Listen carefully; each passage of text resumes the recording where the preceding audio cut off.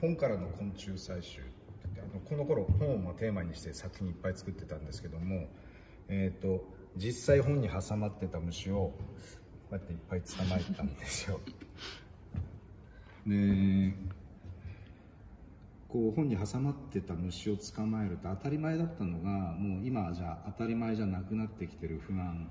まあ、そんなのを20年前に予感してで今ここに出てきてなんかちょっとやっぱりあのこれは作っておいてすごく良かったなという感じがしました。後であの全部見てください。あの何ページのどこに捕まえたかっていうラベルも全部貼ってますので、はい、